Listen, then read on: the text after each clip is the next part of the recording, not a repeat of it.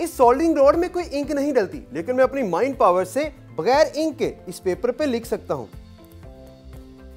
लेकिन कैसे? To understand this we first need to understand how thermal printer works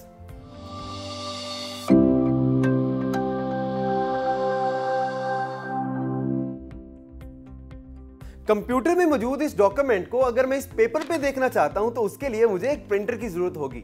working के लिहाज से प्रिंटर्स दो तरह के होते हैं। ट्रेडिशनल प्रिंटर्स पेपर को फिजिकली टच करके प्रिंटिंग करते हैं। इसीलिए इनको इंपैक्ट प्रिंटर्स कहते हैं। जैसे लाइन प्रिंटर्स और डॉट मैट्रिक्स प्रिंटर्स वगैरह। लेकिन मॉडर्न प्रिंटर्स ऐसा नहीं करते, बल्कि ये पेपर को डायरेक्टली कॉन्टैक्ट ही नहीं करते। इसीलिए इनको नॉन इम्पैक्ट प्रिंटर्स कहते हैं। जैसे लेजर जेट प्रिंटर्स और थर्मल प्रिंटर वगैरह।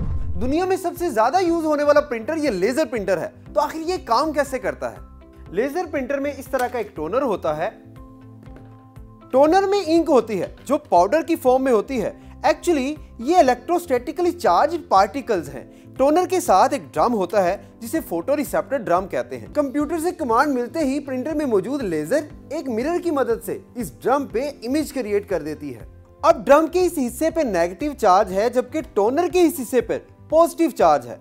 तो टोनर का रूलर इस नेगेटिवली चार्ज ड्रम को अपनी तरफ़ अट्रैक्ट करेगा और इस तरह ये ड्रम पे इंक को पेस्ट कर देगा। और इस ड्रम की मदद से इस पेपर के ऊपर इंक को पेस्ट कर दिया जाएगा और हमारा प्रिंट रेडी है।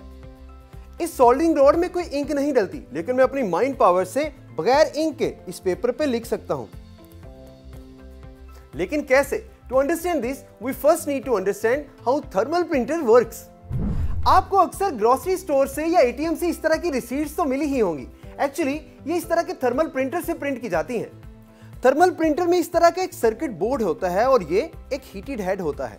और इसमें यूज़ होने वाला पेपर कोई आम पेपर नहीं होता, बल्कि हीट सेंसिटिव पेपर होता है। कंप्यूटर से कमांड मिलते ही सर्किट बोर्ड इस हीटिंग हेड को यूज़ करके पेपर को इमेज के अकॉर्डिंगली हीट कर देता है और इस तरह पेज के ऊपर प्रिंटिंग हो जाती है। थर्मल पेपर सिर्फ़ एक साइड से हीट सेंसिटिव होता है। जैसे अगर मैं इसे हेयर स्ट्रेटनर से गुजारूं तो ये पूरा पेपर ब्लैक हो जाता है। लेकिन इसकी बैक साइड पे कोई फ़र्क नहीं पड़ा। तो इसका मतलब ये हुआ कि थर्मल प्रिंटर में किसी किस्म की इंक यूज़ ही नहीं होती, बल्कि थर्मल पेपर को हीट करके प्रिंट किया जाता है। तो सोल्डरिंग रोड की मदद से लिखते हुए मैं कोई अपनी माइंड पावर्स को यूज़ नहीं कर रहा था, बल्कि मैंने इस रोड को बहुत ज़्यादा गर्म किया हुआ था, जो हीटेड हेड का काम कर रहा था।